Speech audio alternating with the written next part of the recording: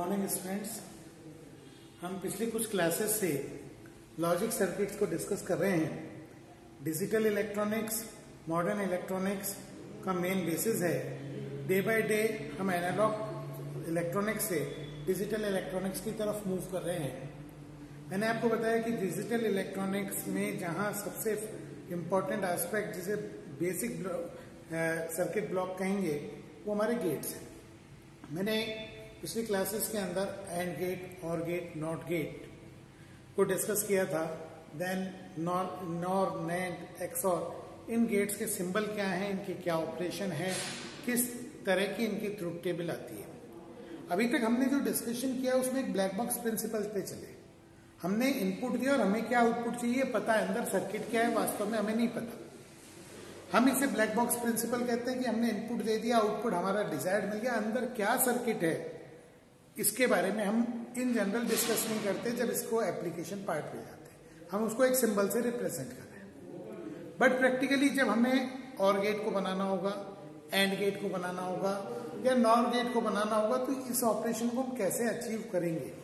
तो मैंने आपको बताया था कि बेसिकली गेट्स कुछ लॉजिक्स बेस्ड होते हैं जो हम अल्टीमेटली फंडामेंटल इलेक्ट्रॉनिक्स से लेते हैं। से diode diode logics means diode और डायोड ही वहाँ पे यूज़ किए जा रहे हैं। पीएन जंक्शन यूज़ किए जा रहे हैं।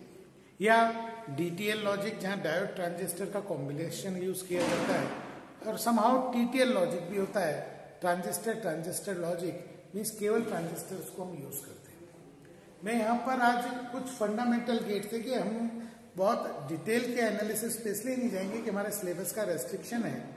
हम यहाँ पर फंडामेंटल जो तीन गेट है नॉट गेट एंड गेट और अब और गेट इनके मैंने कुछ लॉजिकल सर्किट्स बताए और क्वालिटेटिवली आपको बताने की कोशिश कर रहे हैं कि किस तरह से ये जो सर्किट है, वो अपने आप में नॉट गेट के इक्वलेंट है या एंड गेट के इक्वलेंट है या और गेट के इक्वलेंट है। हम सबसे पहले, मैंने आपके सामने एक सर्किट बनाया है। यहाँ पे आप देखें, एक मैंने कॉमन एमिटर ट्रांजिस्टर काम में लिया है।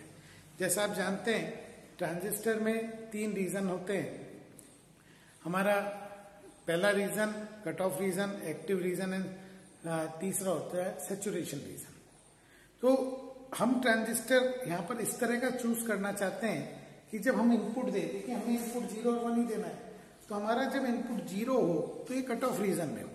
और जैसे ही हमारा इनपुट वन हो जाए, यानी हायर वोल्टेज हो जाए से फाइव वोल्ट हो जाए तो ये ऑटोमेटिकली सेचुरेशन रीजन में मूव करे। यानी हम इस तरह के ट्रांजिस्टर को यहाँ सिलेक्ट करते हैं, जिसका एक्टिव रीजन बहुत छोटा हो। मीन्स एक्टिव रीजन हम वहाँ इजीली क्रॉस कर सकते हैं। मैंने आगे की क्लासेस में जब ट्रांजिस्टर एज ए स्विच बताऊँगा तो आपको बताऊँगा कि स्विचिंग टाइम इस तरह से हो बहुत नेग्लिजिबल हो। यानी एक्टिव से सीधा सेचुरेशन रीजन में आ जाए। तो हमने इस तरह के पैरामीटर हमने डिज़ाइन किया है ये कि कॉमन एमिटर कॉन्फ़िगरेशन का ट्रांजिस्टर है, जिसमें अगर हम यहाँ ज़ीरो वोल्ट अप्लाई करेंगे तो ये कट ऑफ़ रीजन में होगा। और जब हाई वोल्टेज से वन मीन्स फाइव वोल्ट और वॉट जो हमारा डिजायर्ड होगा तो उस कंडीशन में, सीधा सेचुरेशन रीजन में मूव कर जाएगा। हम पहले प्रीवियस टॉपिक्स में हम एज ए एमिटर फॉलोअर इसको वर्कआउट कर चुके हैं।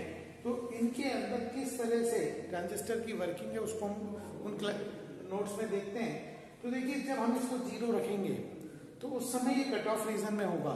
और कट ऑफ़ रीजन में होगा तो ये फाइव वोल्ट जो हमने दी है वो पूरी फाइव वोल्ट हमें आउटपुट पे अवेलेबल होगी। यानी ये एक इन्वर्टर की तरह वर्क कर रहा है हमारा इनपुट लो है तो आउटपुट हाई मिल रहा है। तो ये प्रतिलोमी या इन्वर्टर जो कि बेसिकली नॉट गेट की प्रॉपर्टी है, इसको वर्क करेगा। कि जब तक यहाँ पर इनपुट लो है तो पूरी वोल्टेज ड्रॉप यहाँ पर आएगी। इस रीजन में वोल्टेज ड्रॉप नहीं होगी और पूरी आउटपुट यहाँ पर मिलेगा। इस तरह से इनपुट ज़ीरो पर हमें आउटपुट वन मिलेगा। ना जैसे हम इसे वन करेंगे मीन्स इसे हाई करेंगे तो हम वोल्टेज बायसिंग से वर्कआउट करेंगे तो हम देखेंगे कि ये वोल्टेज बैलेंस हो गई और यहाँ पर हमें कोई वोल्टेज अवेलेबल नहीं है। या बहुत नेग्लिजिबल वोल्टेज अवेलेबल है। तो इसलिए जैसे ही इनपुट को हमने हाई किया तो आउटपुट लो हो गया। तो हम ये कह सकते हैं, ये ट्रांजिस्टर अपने आप में एक इन्वर्टर का वर्क करेगा नॉट गेट का वर्क करेगा। कॉमन एमिटर कॉन्फ़िगरेशन की कैरेक्टरिस्टिक्स है। हाँ यहाँ पे क्या वैल्यूज़ लेंगे, ये सारे पैरामीटर हम कैलकुलेशन से वर्कआउट कर लेते हैं। हमारे एग्जामिनेशन स्कोप में जस्ट हमसे नॉट गेट का ट्रांजिस्टर लॉजिक पूछ सकते हैं तो ये हमें सर्किट रिक्वायर्ड है। वहाँ पर भी वर्किंग कभी नहीं पूछी जाती है। इसलिए this is more than sufficient now मैं नेक्स्ट आता हूँ एंड गेट पे। मैंने यहाँ एंड गेट वही टू इनपुट का लिया है और ये डीडीएल लॉजिक दिया है। डीडीएल लॉजिक के अंदर केवल मैंने डायोड्स यूज़ किए आप देखिए यहाँ पर एक डायोड है, दूसरा डायोड है। यहाँ मेरे को इनपुट देना है। ए पे यहाँ पे वी वन फ़र्स्ट इनपुट है। यहाँ बी के बीच में सेकेंड इनपुट है। यहाँ फाइव वोल्ट है यहाँ आउटपुट हैं। आप देखिए, जब ये इनपुट ज़ीरो होगा, और ये भी इनपुट ज़ीरो होगा, जो हमारी फ़र्स्ट एंट्री है तो जब ये दोनों ज़ीरो होंगे तो आप ढंग से देखिए कि डायोड डी वन और डायोड डी टू दोनों ही फॉरवर्ड बायस होगा। जब दोनों फॉरवर्ड बायस है तो सारा करंट डी वन से ए होते हुए ग्राउंड हो जाएगा, या डी टू बी होते हुए ग्राउंड हो जाएगा, और हमें आउटपुट पे कितना मिलेगा? ज़ीरो यानी हमारी एंड गेट की जो फ़र्स्ट एंट्री है ज़ीरो ज़ीरो ज़ीरो वो यहाँ फुलफिल हो रही है। यहाँ पर कोई आउटपुट अवेलेबल नहीं है। सेकंड को हम क्वालिटेटिव में देखें, से इसको मैंने वन कर दिया, इसको ज़ीरो रखा। तो जैसे इसको वन मीन्स हाई वोल्टेज रखेंगे तो डी के दोनों साइड फाइव वोल्ट वोल्टेज है।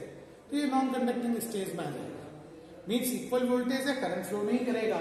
बट अभी भी डी टू फॉरवर्ड बायस है, इसलिए सारा करंट डी टू से बी और बी से ग्राउंड हो जाएगा और आउटपुट हमें अभी भी ज़ीरो मिलेगा। इस तरह से एंड गेट की second entry one zero zero हम यहाँ से समझ सकते हैं। तीसरी एंट्री आती है, जब मान लीजिए इसको मैंने ज़ीरो रखा और इसको वन किया तो नेचुरली इस समय D two non conducting stage में आ जाएगा। सारा करंट डी वन ए होते हुए ग्राउंड हो जाएगा। यानी अगेन हमें आउटपुट पे ज़ीरो वोल्टेज मिलेगी। नाउ फाइनली जब हम इन दोनों को ही वन कर देते हैं तो इसका मतलब ये यहाँ पर भी फाइव वोल्ट और यहाँ भी फाइव है तो किसी सर्किट में बोथ साइड सेम वोल्टेज है, यानी पोटेंशियल डिफरेंस ज़ीरो तो कोई करंट फ्लो नहीं करेगा। यानी थ्रू ए कोई करंट नहीं जाएगा थ्रू बी भी कोई करंट नहीं जाएगा, इसलिए सारा वोल्टेज हमें आउटपुट पे मिलेगा। यानी इस समय हमें आउटपुट पे वोल्टेज मिलेगी डेट इज़ फाइव वोल्ट या हाई तो ये तीस फोर्थ जो last entry one one one को रिप्रेजेंट करता है। तो इस तरह से ये एंड गेट का इक्वलेंट डीडीएल सर्किट है। उन्हें को डीटीएल सर्किट भी बना सकते हैं टीटीएल भी बना सकते हैं, लेकिन हमारे लिए, हम यही रेस्ट्रिक्ट करेंगे कि हमारा डीटीएल सर्किट क्या है। और मैंने आपको इसकी वर्किंग एक्सप्लेन करी है। मैं वापस रिपीट कर रहा हूँ एग्जामिनेशन के अंदर इन जनरल इसका ये सर्किट डायग्राम आता और कुछ नहीं आएगा। नेक्स्ट आता और गेट और गेट आपको ध्यान है whenever either any input is present और both input is present output must be there तो आप यहाँ देखें, ये लगभग मिलता जुलता है, लेकिन थोड़ा सा डिफरेंस है।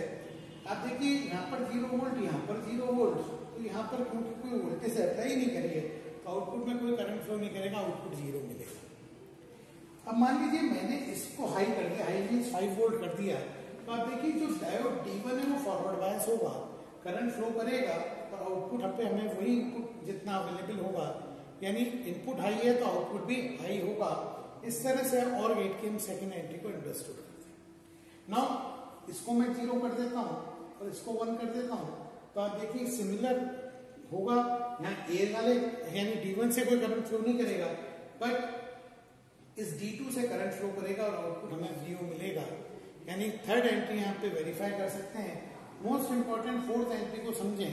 जब अपन ने V1 भी अप्लाई किया और V2 भी अप्लाई किया, यानी इस वक्त D1 भी कंडक्टिंग स्टेज में होगा और D2 भी कंडक्टिंग स्टेज में होगा।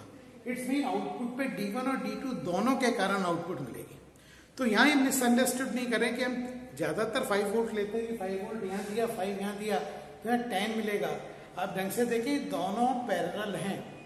पैरेलल में वोल्टेज अगर ये फाइव और ये फाइव है तो इनके पैरेलल यहाँ जो आउटपुट वोल्टेज आएगी, वो फाइव ही आएगी। यानी अगर इनपुट में फ़र्स्ट पे वन लगाया सेकंड पे वन हाई है तो आउटपुट भी हाई ही होगा, दोनों का सम नहीं होगा। इस तरह से हम इस और गेट की वर्किंग को अंडरस्टूड कर सकते हैं। कि मैंने अभी तीन सर्किट्स बताए हैं नोट का एंड का, और का।